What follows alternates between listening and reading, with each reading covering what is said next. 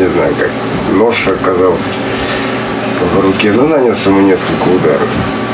Потому что тоже опасался, то, что он меня порежет. Трагедия произошла в феврале. Подозреваемый вместе с друзьями выпивал. Когда его сожительница с подругой уехали за продуктами, он остался в доме с другом. Тот вспомнил про старую обиду. Три года назад э, обвиняемый э, сломал обухом топора э, ногу погибшему, э, заступаясь э, за э, его сожительницу. Вот.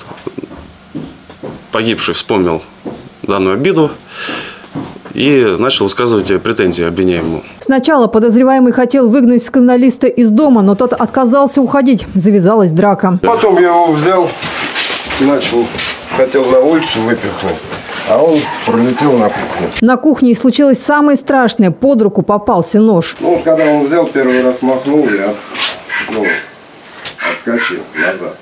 Вы покажите, как он махнул, каким образом. Так, То есть правой рукой, Да. слева направо. Да. В области головы, груди, ну, в области, вот, в области головы. а, в области горла. Еще раз покажите.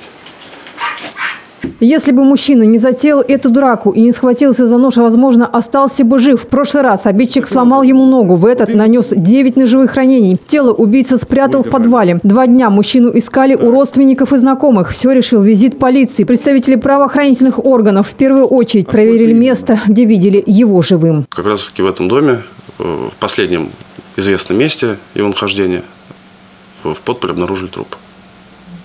Таким образом, Ну, а Раскрыто задержали как э, подозреваемого? Он сам пришел или? нет, подозреваемый находился дома в этот момент, когда были сотрудники полиции. Ну и сознался, естественно, сразу.